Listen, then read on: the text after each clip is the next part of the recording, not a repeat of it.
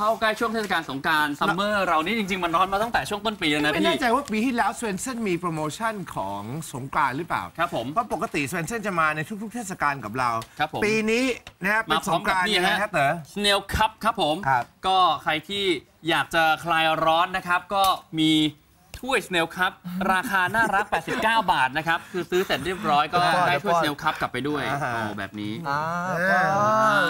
นี่ผมชอบตรงไหนรู้ไหมหวานมากเลยเวลาเราไป Swensen's ปุ๊บเนี่ยครับผมเนี่ยเราก็จะได้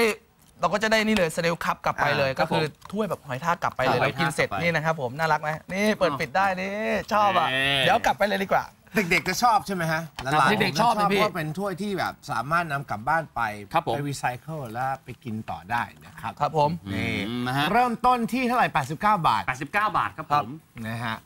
เอาละครับ สืบสารประเพณีไทยนะฮะเขามบออบกว่า มอบขันเงินได้ไหมฮะหรือยังไงฮะ ร่วมสืบสารประเพณีสงกรารด้วยการมอบขันเงินนะฮะเพื่อใช้ในการส่งน้ำพาหรือว่ารดน้ำดำหัวผู้ใหญ่ก็ได้นะครับ ให้กับลูกค้าที่มาใช้บริการในวันที่ 13 เมษายนวันเดียวนะครับ เอ็กซ์คลูซีฟที่เดียวที่สวนเส้นครับผม นี่แหละครับ เอ่อยอดครับผม อร่อยไหมฮะ อร่อยมากเลยครับ ปกติกินไอติมป่ะ ทานครับผม ทานได้ใช่ไหมทาน ไม่มีปัญหาออกกำลังกายได้ ออกกำลังกายได้ครับ แล้วนี้ได้ Snail Cup ด้วยน่ารักมากเออ89 บาทเท่านั้นเองครับผม